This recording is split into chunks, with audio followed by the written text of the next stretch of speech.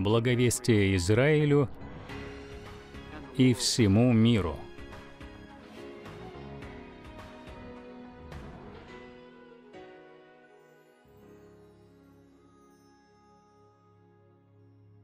Шалом, возлюбленные, Божьих вам благословений. Барух Хашем, благословенно имя Господа.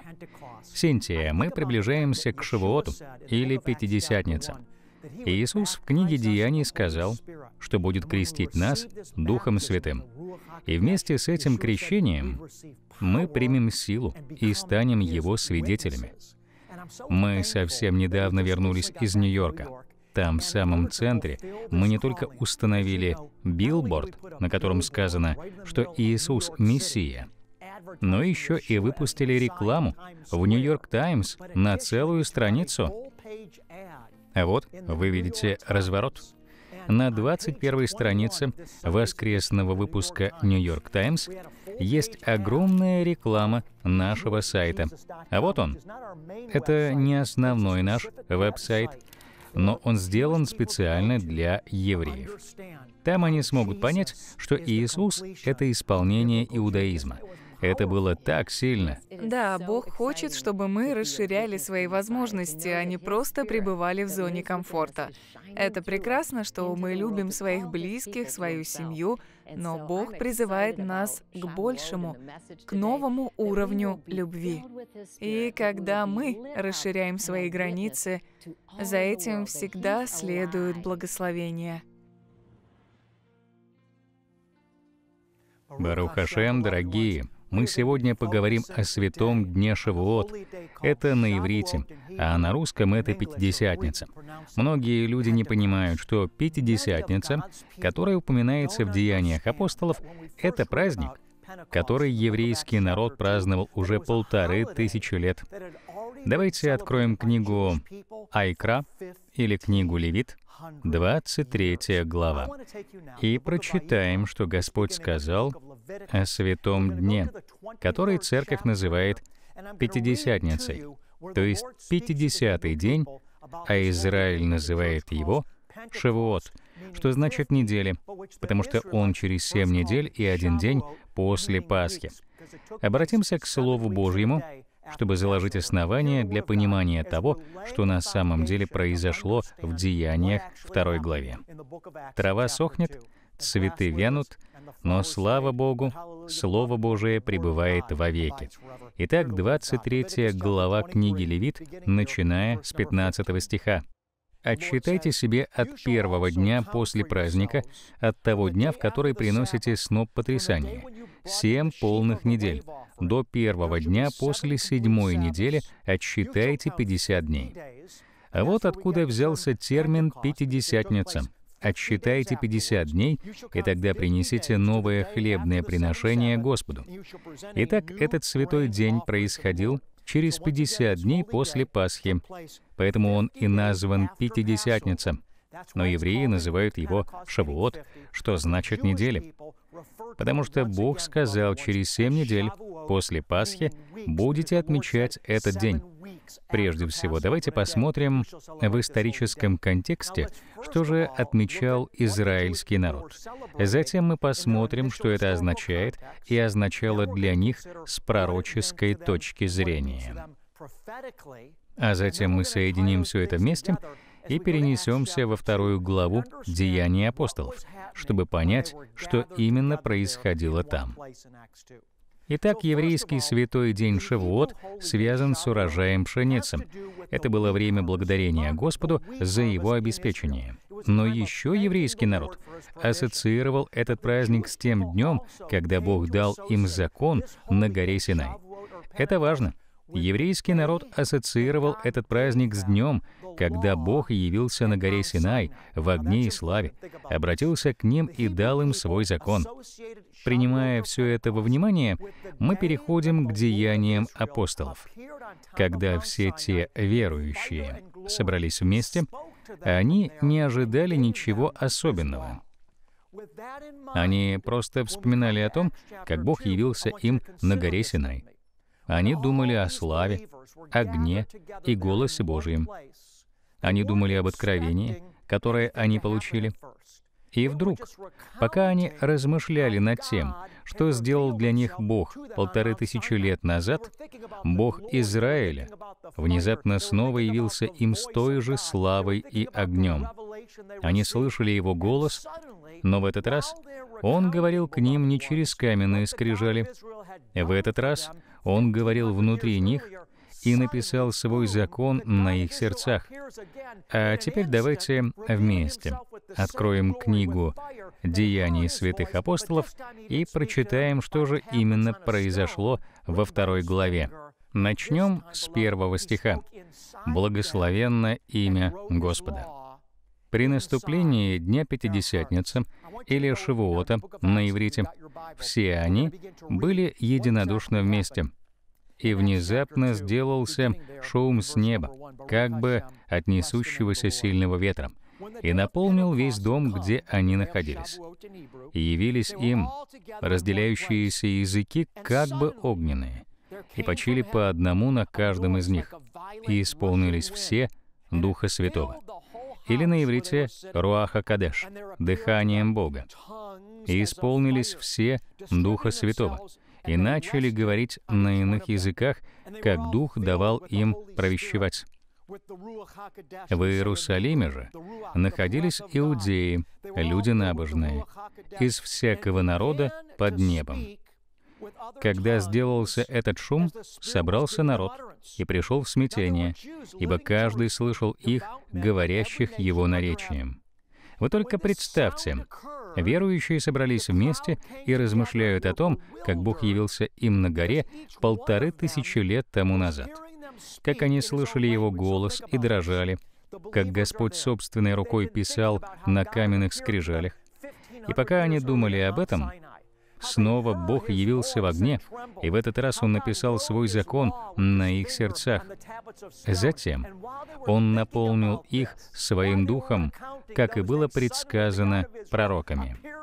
И когда Он сделал это, они заговорили на иных языках. Они смогли говорить на языке, который не был им известен. Это было сверхъестественно. Руаха Кадеш, Дух Божий, вошел в них, и они начали говорить слова, которые никогда не учили, благодаря силе той личности, которая тем наполняла их. А те, кто были рядом, услышали, как Дух Святой говорил с ними на их языке через этих верующих, которые исполнились Святого Духа. Писание говорит, что там были верующие из всякого народа под небом. Когда люди, исполненные Духа, начали говорить на языках, которые они никогда не учили, это были языки тех народов, что были собраны там. Проще говоря, если я американец, а вы китаец, я не знаю китайского, но хочу рассказать вам Евангелие, то это значит, что Бог через Духа Святого дал мне способность передать вам Евангелие на китайском, хотя я и не знаю этого языка. А вот что произошло тогда. Те первые верующие заговорили тогда на языках представителей тех стран, что были там. Верующие не знали тех языков, но сверхъестественно заговорили на них для проповеди Евангелия. Первое, что я хочу сказать, это то, что это чудо отличается от того, что многие пятидесятнические и харизматические церкви называют иными языками. Во многих христианских кругах говорят об исполнении Святым Духом и говорении на иных языках. Но зачастую языки, о которых они говорят, это совсем другой феномен чем то, что было во второй главе книги Деяний. В Деяниях это был не молитвенный язык. Верующие говорили на известных языках, которыми они не владели. В пятидесятнических церквях есть такое понятие, как первоначальное доказательство того, что вы исполнены Духом Святым, то есть иные языки, но зачастую это личный молитвенный язык, который в обиходе только между тем человеком и Господом. Человек, исполненный духа, в пятидесятнических и харизматических кругах зачастую говорит не на известном языке, то есть они говорят не на суахиле, китайском, идише, немецком или иврите. Они говорят на языке духа, который понятен только Богу. Я лишь хочу сказать, что существует разница между тем, что произошло в книге Деяний, и тем, что многие люди называют доказательством исполнения Святым Духом. Это два абсолютно разных проявления. Сверхъестественная способность говорить на языке, которого вы не знаете — я решил акцентировать на этом внимание, чтобы принести некоторую ясность. Однажды кто-то привел к нам на служение свою родственницу. Эта родственница была из Перу и не понимала английского.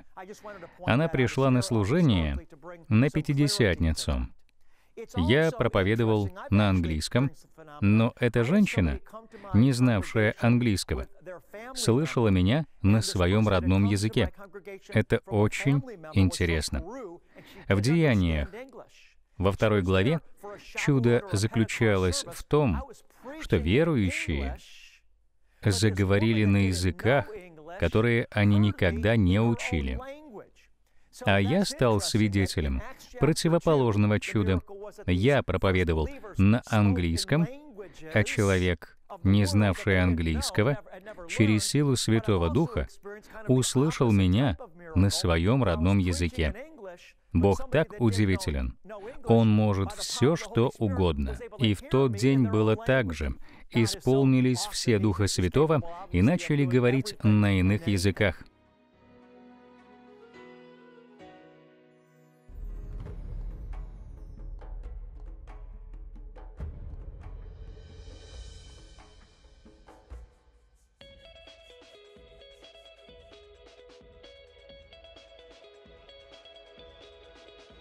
Я нахожусь в самом центре Таймс-сквер. Позади меня вы видите программу «Доброе утро, Америка».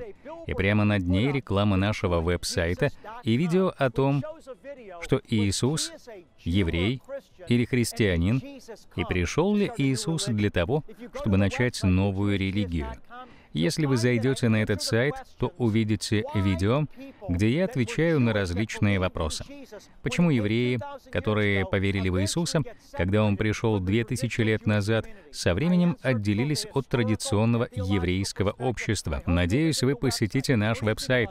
Что вы думаете об этом билборде в Нью-Йорке? Думаю, он вызывает у людей любопытство. Вполне возможно, вы выбрали прекрасное место. Тут всегда очень много людей. Эта реклама бросилась вам в глаза? Да, особенно то, что вы упомянули Иисуса прямо в центре Таймс-сквер. Это интересная тема для вас. Да, моя девушка-еврейка и ее семья тоже. Они все евреи. Мы сделали это, чтобы евреи заговорили об Иисусе. Иисус пришел как еврей, жил как еврей и умер как еврей. Он остается евреем. Он спаситель Израиля и всего мира. Поэтому заходите на jewishjesus.com. Вы получаете назидание в вере и обновление через проповеди Равина. Если вы получаете благословение через проповеди Равина Шнайдера, мы приглашаем вас стать нашим партнером. Достигая Израиля весь мир, заходите на наш сайт или позвоните нам по телефону на экране, чтобы стать партнером в служении Равина, снарядить тело Христа, созидать церковь и благовествовать этому миру. Благодаря вашей поддержке служение, узнавая еврейского Иисуса, сможет достичь мест, которые мы не смогли бы достичь без вашего участия. Вместе мы производим перемены и готовим путь для возвращения Царя Иисуса.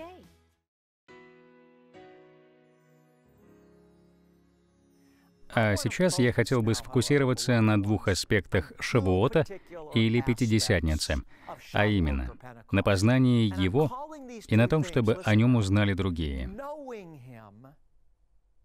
Задумайтесь над этим. В Новом Завете мы празднуем дар Святого Духа. Это подарок, который мы получили на Пятидесятницу. На Шавуот Израиль получил закон, а также откровение о Боге Яхве, Боге Израиля, и десяти заповедей на горе Синай. А верующие получили исполнение всего этого, получив на Шавуот дар Святого Духа. Благодаря получению Святого Духа, его закон записан на наших сердцах. А еще мы получаем откровение через голос Святого Духа. Так же, как Израиль получил откровение от Бога Отца у подножия горы Синай. Иешуа принес исполнение всего этого. Давайте поразмышляем о даре Духа, который мы получили на Шавуот. И Еремия, и Иезекииль говорили, что однажды Бог вложит в нас свой дух, и мы будем ходить путями Его. В Евангелии от Луки 24 главе Иисус говорил о даре Духа как об обещании Отца. Иешуа сказал, «Я отдам вам обещанное от Отца, а когда я дам вам Духа, которого обещал Отец, вы будете одеты да вы только подумайте, одеты в славу Божию.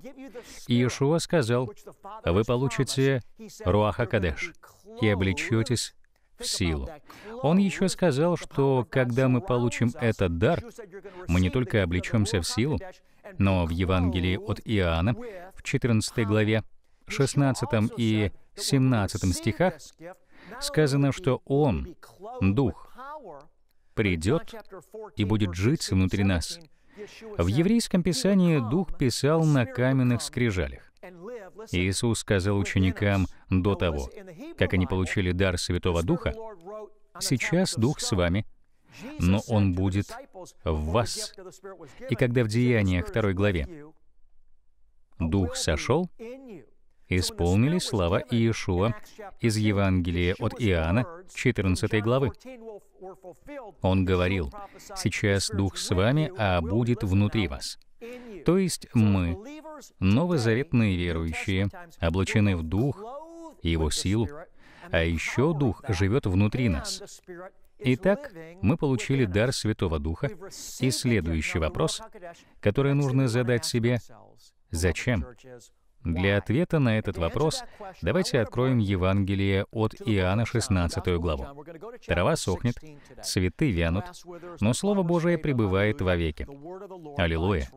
Это прекрасное место, в котором сказано о том, в чем цель нашей жизни. А если вы думаете, в чем цель вашей жизни, то сейчас я отвечу вам из Слова Божьего. Я расскажу, что Бог считает целью нашей жизни. Господь сказал, что цель жизни Его детей состоит из двух частей. Во-первых, знать Его, во-вторых, чтобы о Нем узнали. Кстати, это та же история, что и в «Песне песней».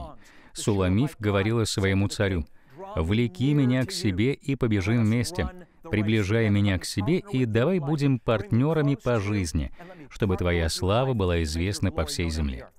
Послушайте, что сказал Иисус в Евангелии от Иоанна 16 главе. Начнем с 12 стиха. «Еще многое имею сказать вам, но вы теперь не можете вместить». Как интересно. Иешуа говорит, «Я хочу говорить с вами на более глубокие темы, я хочу делиться с вами тайнами, но вы еще к ним не готовы. Поэтому Он дал Духа Святого, чтобы мы могли получать больше откровений. Дар Духа — это наше дыхание и наша жизнь. Без Духа мы не можем познать Бога. Павел сказал, что если в нас нет Духа, то мы не принадлежим Ему. Иисус говорит, «Я так много хочу рассказать вам, но пока вы не можете это вместить, но когда я дам вам свой Дух, то расскажу вам все то, что сейчас вы услышать не готовы. Далее читаем. «Когда же придет Он, Дух истины, то наставит вас на всякую истину, ибо не от себя говорить будет, но будет говорить, что услышит, и будущее возвестит вам. Он прославит меня, потому что от моего возьмет и возвестит вам. Все, что имеет Отец, есть мое. Потому я сказал, что от моего возьмет и возвестит вам. Давайте поразмышляем над этим. Иисус сказал, «Мне еще многое нужно сказать вам, но вы не можете это вместить. Но когда придет Он, Дух истины, то направит вас на всякую истину. Он возьмет от меня, от моего сердца, моей природы и моего духа и откроет вам. Дорогие, Дух — это наша жизнь. Дух — это Бог, явившийся нам. Бог Отец на небесах, Иешуа тоже на небесах, одесную Отца, но Дух Святой, Руаха Кадеш, сейчас на земле, чтобы открыть нам Бога. Библия говорит, «Не видел того глаз, не слышало ухо, и не приходило то на сердце человеку, что приготовил Бог любящим Его. А нам Бог открыл это Духом Святым. Как мы видим, праздник Шивуот — это празднование получения дара Духа Святого, которого мы получили, чтобы лучше знать Бога. Через Духа Святого Бог открывается нам с вами. Но есть еще один важный принцип. Еще Бог дал нам свой Дух, чтобы мы были Его свидетелями. Иешуа много говорил об этом. Он сказал, вы примете силу и будете мне свидетелями. Прямо перед тем, как Дух Святой сошел, мы читаем в Деяниях апостолов, первой главе, восьмом стихе. Помните, трава сохнет, цветы вянут, а Слово Господне пребывает вовеки. Итак, послушайте Слово Божие. Иешуа сказал, «Но вы примете силу, когда сойдет на вас Дух Святой» или «Руаха Кадеш», и будете мне свидетелями в Иерусалиме и во всей Иудее и Самарии и даже до края земли. Смысл дара Духа в том, чтобы мы познали Бога и получили силу, чтобы быть Его свидетелями. Писание также говорит нам, что чем больше мы повинуемся, тем больше силы Божией проявляется в нашей жизни. Дар Духа — это бесплатный дар — но в полноту дара мы входим через послушание. Ну и в завершении я хотел бы помолиться за вас, чтобы Дух Святой, Руаха Кадеш, привел нас с вами в глубокие и близкие отношения с Богом Отцом и сделал нас при этом Его свидетелями. Отец Небесный, мы поклоняемся Тебе и любим Тебя. Мы нуждаемся в Тебе, Отец. Мы жаждем и отчаянно нуждаемся в Тебе. Мы чувствуем себя, как в псалме Давида, где сказано, «Как лань желает к потокам вод, так и наша душа стремится к Тебе, Отец» проявляя силу Святого Духа в нашей жизни. Влеки нас к себе через Руаха Кадеш. Влеки нас ближе к Иисусу, чтобы мы переживали Твою любовь к нам так сильно, как никогда. Спасибо за Твой Святой Дух, Царь Яхве. Отец, дай нам свой огонь. Это Эш на иврите чтобы мы были Твоими свидетелями, чтобы мы были такими, как и Еремия, и не могли молчать, и повсюду были Твоими свидетелями. Мы любим Тебя. Мы хотим повиноваться Тебе, знать Тебя, и чтобы о Тебе узнавали другие. В книге чисел Бог повелел Моисею и Аарону говорить эти слова над народом его, и тогда Он запечатлеет свое имя на них и благословит их.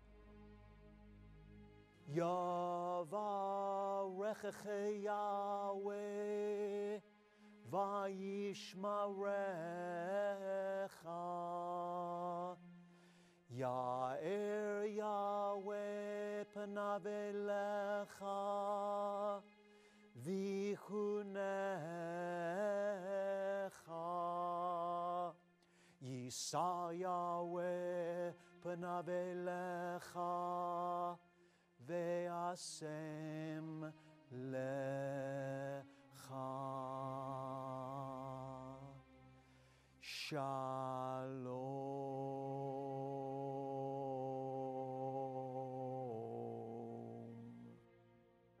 Пусть Бог Отец, Яхве, Бог Израиля, благословит тебя и соблюдет. Пусть осветит тебя сиянием лика своего, явит милосердие.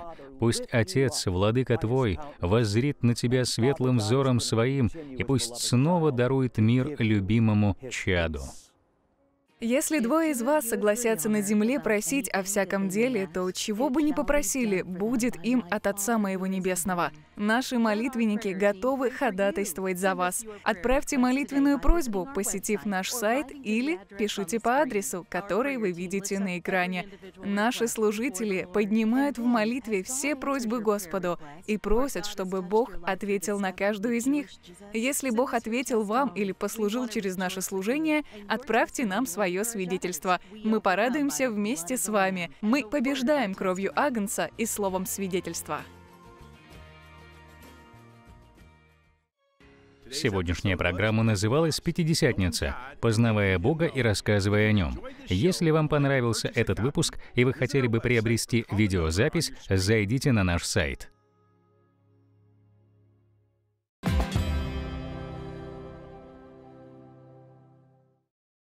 Я нахожусь в Нью-Йорке на Таймс-сквер. Наше служение запустило здесь рекламу на огромном билборде, прямо над «Доброе утро, Америка». На билборде написан адрес нашего сайта, а в видеоролике появляются вопросы. Иисус был евреем или христианином? Иисус пришел, чтобы начать новую религию? Мы делаем это, потому что в Нью-Йорке живет больше евреев, чем в любом другом городе мира. И мы хотим принести им послание об Иисусе. Мы делаем это только благодаря вашей финансовой поддержке. Если вы чувствуете, что Господь побуждает вас поддерживать это служение и помогать нам распространять Евангелие по всему миру, то будьте послушны Ему. Ваши финансовые дары будут использованы на спасение душ, и вы получите награду за каждый пенни, посеянный в Царство Божие. Спасибо за вашу поддержку, и знайте, что вас ожидает благословение за это. Шалом! Как стать нашим партнером? Отправьте пожертвования, не облагаемые налогом, на адрес, который на экране. Пожертвовать онлайн можно, зайдя по ссылке нашего сайта. Пожертвовать через кредитку можно по телефону, который на экране. Или же отправьте смс на данный телефонный номер. В знак признательности мы отправим вам аудиопроповедь месяца и свежий вестник. Благодаря вашему дару Израиль и мир спасутся, исцелятся и получат освобождение через телевидение интернет и массовые богослужения. Многие были верны Господу через свои даяния. Кто желает пожертвовать финансы и имущество служению еврейский Иисус, зайдите на наш сайт. Откровение сегодня для лучшего завтра. Смотрите программу «Узнавая еврейского Иисуса» на своем носителе. Подпишитесь на наше обновление. Следите за нашими новостями в Фейсбуке, Твиттере, Инстаграме и подпишитесь на нас в Ютубе. Присоединиться к служению «Узнавая еврейского Иисуса» очень легко. Будьте с нами!